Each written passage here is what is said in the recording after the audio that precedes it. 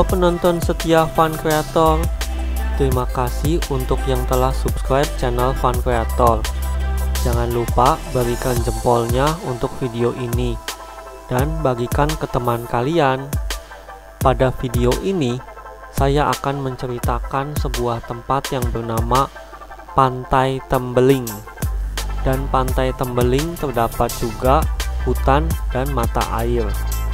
Alamat lengkapnya di Batu Madeg, Nusa Penida, Kabupaten Klungkung, Bali, Indonesia.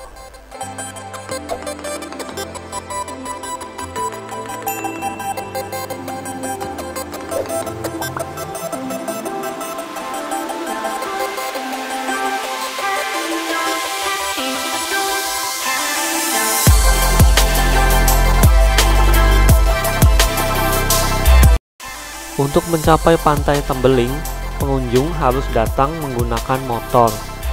Karena jalan masuk ke pantai Tembeling hanya bisa dicapai dengan menggunakan motor. Jika menggunakan mobil ke pantai Tembeling, maka mobilnya akan diparkir jauh dari lokasi pantai Tembeling. Pantai Tembeling dan hutan Tembeling juga merupakan salah satu tempat wisata Nusa Peninda yang tersembunyi loh. Maka dari itu, akses ke pantai Tembeling cukup sulit. Pakai bantuan peta Google Maps tetap saja kesasar. Harus tanya penduduk lokal baru dapat menemukan lokasinya. Ternyata, GPS penduduk lokal itu tetap yang paling akurat.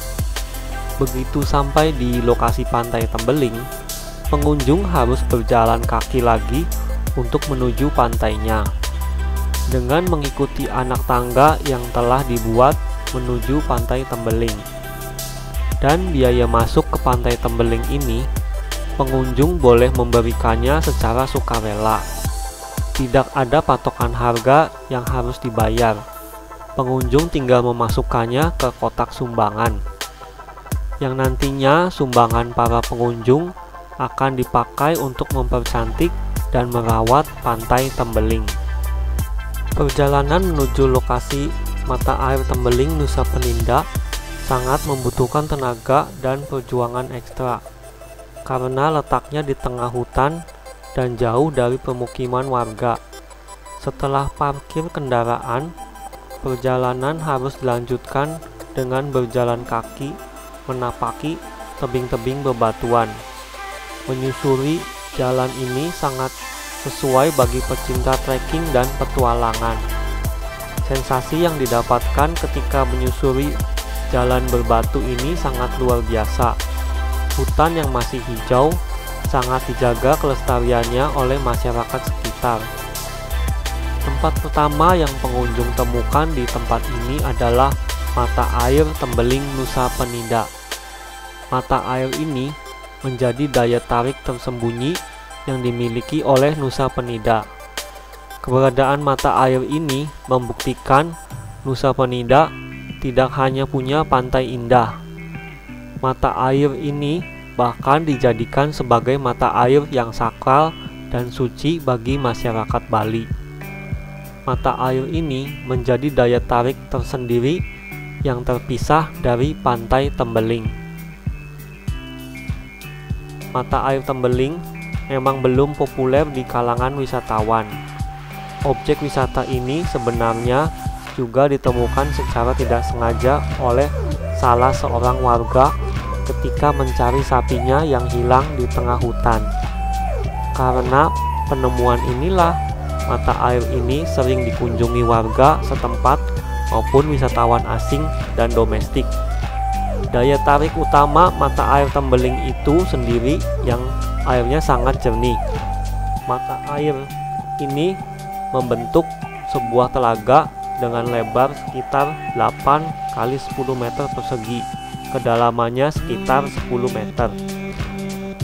Uniknya, lokasi telaga ini hanya pengunjung laki-laki yang boleh berendam atau mandi di situ.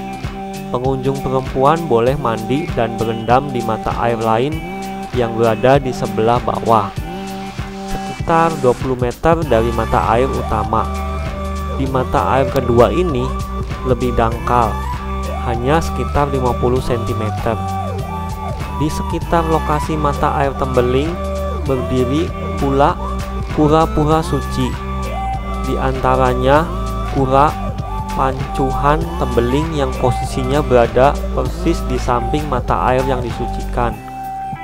Warga setempat yang beragama Hindu sering melaksanakan upacara setiap enam bulan sekali di lokasi mata air Tembeling karena merupakan tempat yang disucikan.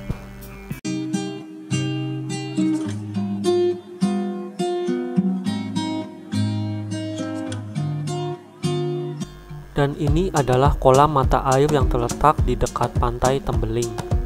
Kolam yang cukup dangkal ini memiliki sumber mata air yang sangat jernih dan bisa berendam sambil melihat pemandangan pantai Tembeling yang indah.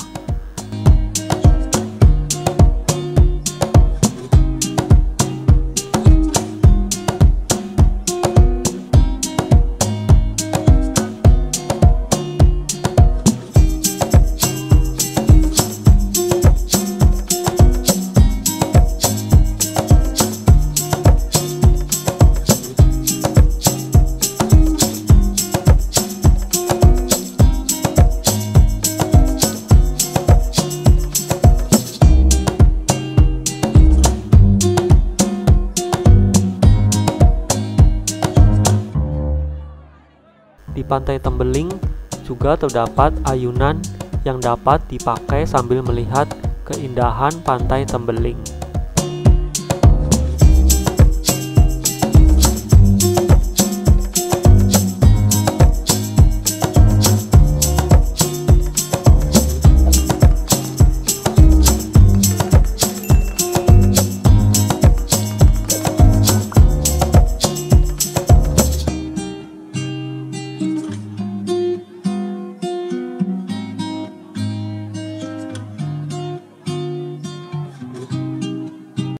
Pantai Tembeling ini berpasir putih namun lebih banyak bebatuan karang yang tersebar di sepanjang pesisirnya.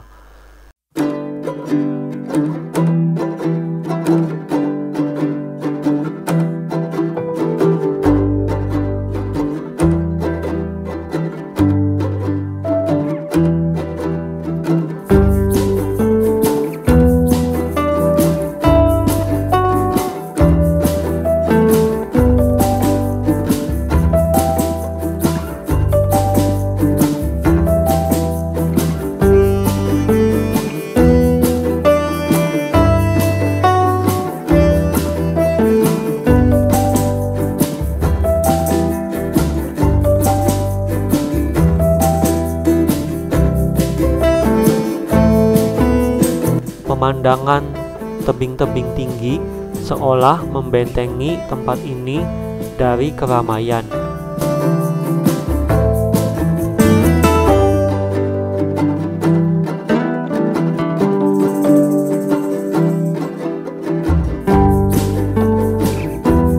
Cekungan-cekungan besar di dinding tebing akibat hempasan ombak membentuk goa.